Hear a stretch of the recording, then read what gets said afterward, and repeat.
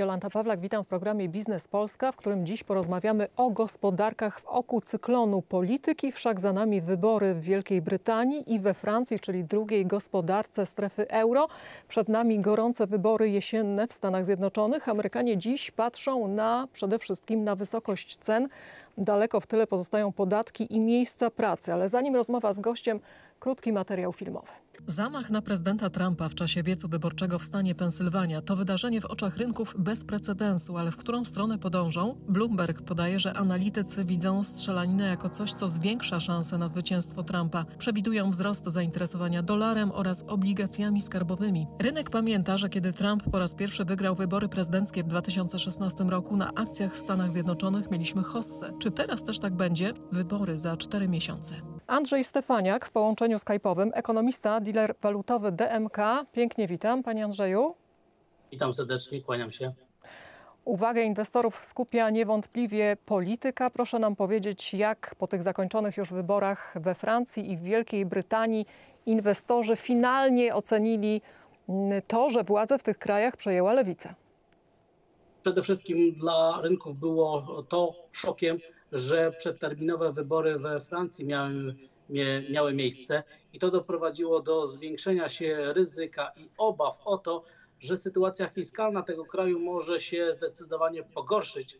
Dlatego też e, my na rynkach finansowych w szczególności patrzyliśmy na zachowanie francuskich obligacji, ale nie tylko na samych, tylko w porównaniu na przykład do niemieckich. I tam te różnice, czyli spready między francuskimi a niemieckimi obligacjami bardzo dobrze określały, jaki jest stopień strachu, obaw i lęków przed tym, że zmiana władzy we Francji, gdyby się dokonała, jaki może mieć wpływ na kondycję francuskiej, e, francuskiej gospodarki, ale przede wszystkim systemu finansowego, ponieważ deficyt fiskalny był głównym tematem, który był przez rynek uwzględniany przez rynek dyskontowany. Pośrednio odbijało się to też na wartości europejskiej waluty, ale przede wszystkim na kondycji francuskiej giełdy, która bardzo mocno spadała wróciła do poziomów, które na wycenach były bardzo wiele kwartałów temu. Dlatego też francuska giełda bardzo przejęła się tym, co się może wydarzyć. A już po wynikach wyborów, które poznaliśmy kilka dni temu, największym wydarzeniem moim zdaniem była ta informacja, która płynęła z agencji ratingowej Moody's, która zagroziła, że, że faktycznie będzie wprowadzany ten program wyborczy ugrupowania, które zwyciężyło, będzie zwiększał się deficyt fiskalny o ponad 80 miliardów euro względem tych planów, to może dojść do cięcia ratingów Francji i do ograniczenia atrakcyjności inwestycyjnej tego, tego kraju. Dlatego też moim zdaniem jeszcze przed nami mogą być jakieś efekty tych zawirowań politycznych, ale główne wydarzenia już zostały uwzględnione w cenach, stąd też przede wszystkim zdołowanie francuskiej giełdy. A czy, czy inwestorów nie niepokoi fakt, jeszcze wrócę do e, tego, co się wydarzyło na tej scenie politycznej po wyborach, czyli do zwycięstwa lewicy, którego mm, nikt się nie spodziewał. Mm, czy inwestorów nie niepokoi fakt, że ta radykalna lewica ma też takie radykalne pomysły swoje gospodarcze, że będzie je forsować, jak choćby wprowadzenie e, najwyższej stawki PIT? Właśnie gdy robiliśmy analizę scenariuszową przed wyborami, to w takiej sytuacji największym zagrożeniem przede wszystkim dla europejskiej waluty, dla wyceny europejskiej waluty była wygrana partii lewicowej, ponieważ ona tutaj na sztandarach miała najbardziej e, znaczące podwyższenie deficytu fiskalnego, właśnie około 80 miliardów euro. Jeżeli faktycznie tak będzie się działo, to moim zdaniem rynki negatywnie to zdyskontują. Te wszystkie pomysły, o których pani redaktor mówi, będą źle odebrane przez francuskie aktywa, przede wszystkim przez giełdy papierów wartościowych, ale także może to negatywnie działać na wycenę europejskiej waluty. Dlatego też ja w szczególności sygnalizuję każdego, każdemu, który jest zainteresowany rynkami finansowymi, żeby patrzył teraz na wycenę francuskiej giełdy, na to, jak zachowują się e, francuskie obligacje, zwłaszcza w stosunku do niemieckich obligacji oraz jak zachowuje się europejska waluta, ponieważ tutaj także odzwierciedlenie tego ryzyka może mieć miejsce, chociaż Sama europejska waluta nie tylko podlega wpływowi francuskiej gospodarki, ale także czynników związanych z całą sytuacją w strefie euro, a ona nie jest zbyt różowa. A no właśnie ponadto Francja, podobnie jak Polska i kilka innych krajów, została przez Komisję Europejską objęta procedurą nadmiernego deficytu, co oznacza, że trzeba teraz przygotować plan naprawczy, który będzie ten deficyt y, zbijał. Czy to oznacza cięcia mm, na inwestycjach, czy w inwestycjach, czy to oznacza cięcia mm, tych y, wydatków socjalnych, czy to oznacza podnoszenie podatków? No właśnie tego nie wiadomo, pani redaktor, i to będzie najważniejszy czynnik, który będzie wpływał prawdopodobnie na scenę francuską oraz na francuskie aktywa w perspektywie następnego roku, bo z tego co mi wiadomo, następne wybory, potencjalne wybory parlamentarne mogłyby się odbyć dopiero za 12 miesięcy.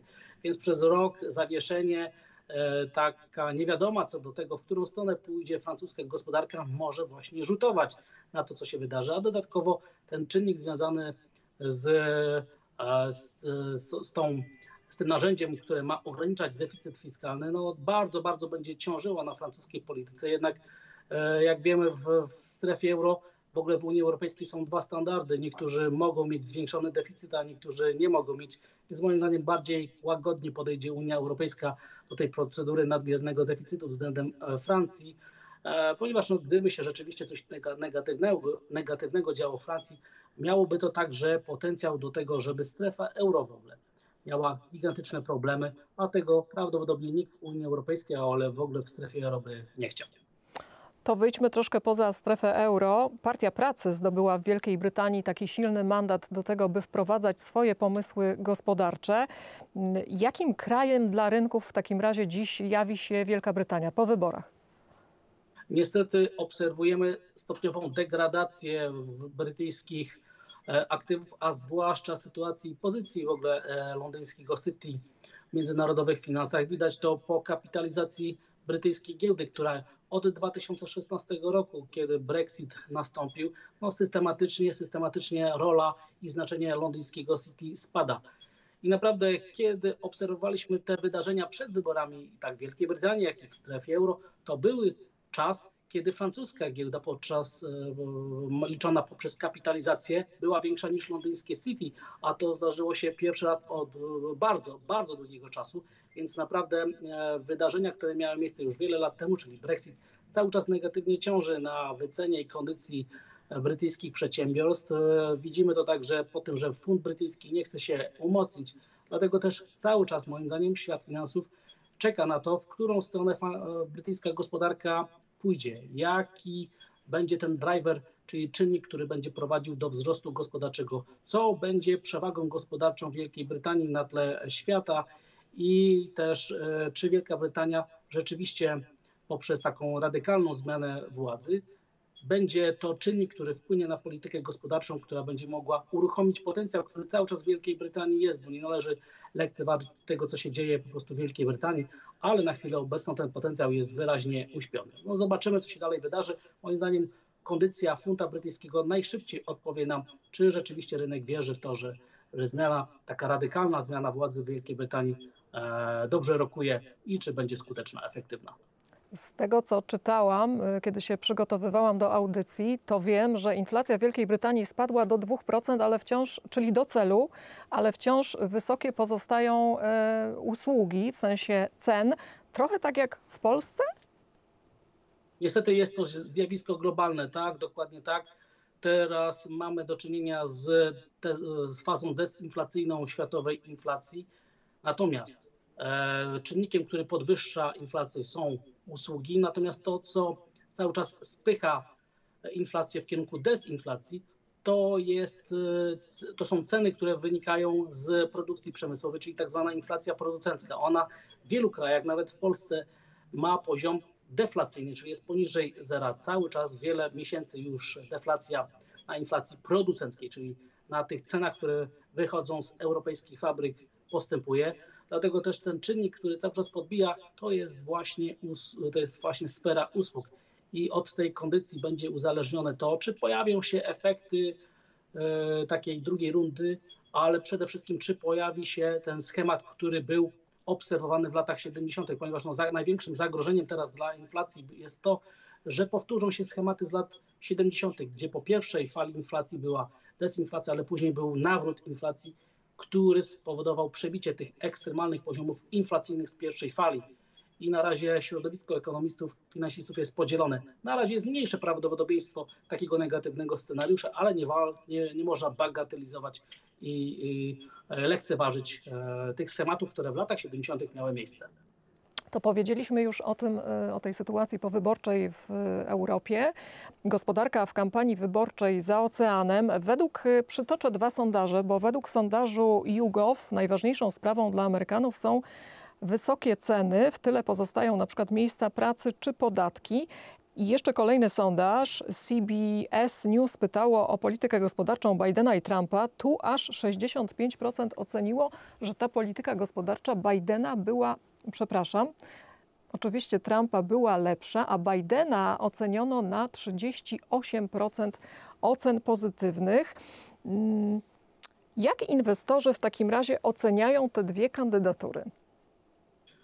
Myślę, że inwestorzy mają już w pamięci historię os ostatnich 8 lat, tego co się działo podczas kadencji prezydenta Trumpa, podczas prezydenta Bidena i mogą e, porównać te dwa okresy, kiedy im się po prostu żyło lepiej, kiedy mieli większe dochody rozporządzalne, bo to jest w szczególności istotne. Dlatego też pani tutaj, pani redaktor zasygnalizowała, że inflacja to też jest bardzo ważny temat tej kampanii wyborczej. No i będą oceniać kiedy im się żyło lepiej, kiedy e, te dochody rozporządzalne e, pozwalały Amerykanom kupować więcej. Dlatego też ja się też nie dziwię, że ta, że ta debata, która miała miejsce dwa tygodnie temu, bardzo silnie wygrana przez kandydata republikańskiego, już sygnalizuje rynkom finansowym, że należy oczekiwać i to bardzo e, mocnego zwycięstwa prezydenta Trumpa i będzie to prawdopodobnie dyskontowane przez rynki finansowe w kolejnych tygodniach do wyborów prezydenckich, a później e, po wyborach także powinno być uwzględniane w cenach. Dlatego też moim zdaniem rynki finansowe bardziej korzystnie zostałyby zaskoczone, lepiej, e, milej by reagowały w sytuacji, kiedy kandydat republikański wygrałby wybory. Natomiast moim zdaniem giełda bez względu na to, kto zostanie prezydentem, będzie pozytywnie dyskontowała tego typu wybory, chociaż moim zdaniem wybór prezydenta Trumpa na drugą kadencję byłby przez giełdę, przez rynki finansowe lepiej i bardziej pozytywnie odebrany. Mówimy o tych wydarzeniach za oceanem, ponieważ mogą mieć istotny wpływ na decyzje inwestycyjne w Polsce. Andrzej Stefaniak, ekonomista, dealer walutowy DMK, bardzo dziękuję. Dziękuję bardzo, kłaniam się, pozdrawiam. I Państwu również bardzo dziękuję. Dobranoc, do widzenia.